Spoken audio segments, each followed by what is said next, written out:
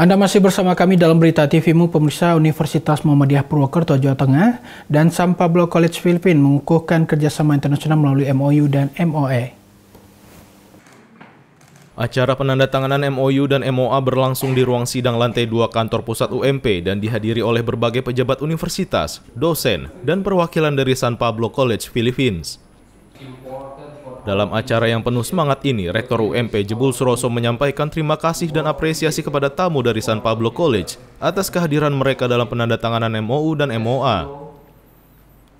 Acara ini tidak hanya mencakup penandatanganan MOU dan MOA, tetapi juga melibatkan beberapa departemen pendidikan di UMP.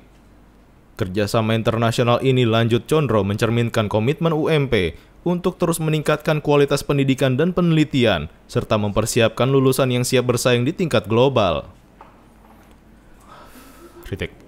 Tegaroli memberitakan dari Purwokerto, Jawa Tengah.